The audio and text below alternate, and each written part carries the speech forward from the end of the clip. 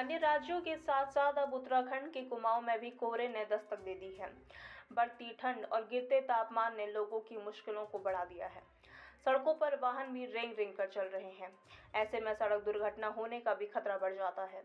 वहीं जनपद उधम सिंह नगर के जसपुर में मौसम के पहले कोहरे ने जनजीवन अस्त व्यस्त कर दी है। आलम यह है कि सड़कों पर वाहन भी रेंग रेंग कर चल रहे हैं। शहर में लोग जगह जगह अलाव जलाकर ठंड से बचाव करते नज़र आ रहे हैं। वहीं स्थानीय निवासियों का कहना है कि कुमाऊं में पहली बार कोहरे ने दस्तक दी है। अभी नगर पालिका की तरफ़ से किसी प्रकार के अलाव की व्यवस्था नहीं की गई।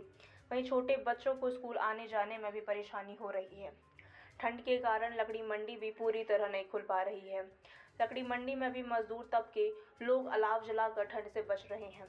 लोगों की मांग है कि प्रशासन द्वारा हर चौराहे पर अलाव की व्यवस्था की जाए ताकि राहगीरों को उसका लाभ मिल सके। मेरा नाम तजमुल हसन। हम लोग तो अपने यहाँ बैठे हैं लकड़ी मंडी में ऐसे तो कोहरा हाईवे पे दिक्कत करेगा। ट्रैफ़िक की व्यवस्था बिगड़ जाएगी सारी।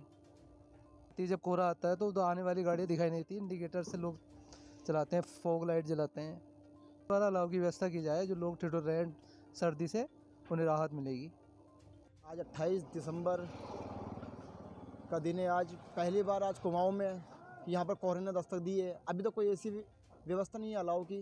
देखते हैं, प्रशासन क्या भी व्यवस्था करते हैं। पहले नगर पालिका क्षेत्र में आते थे तो पहले अध्यक्ष यहाँ पे व्यवस्था करे करते, लेकिन अब देखते हैं, पहली ठंड की व्यवस्था कैसे करते प्रशासन।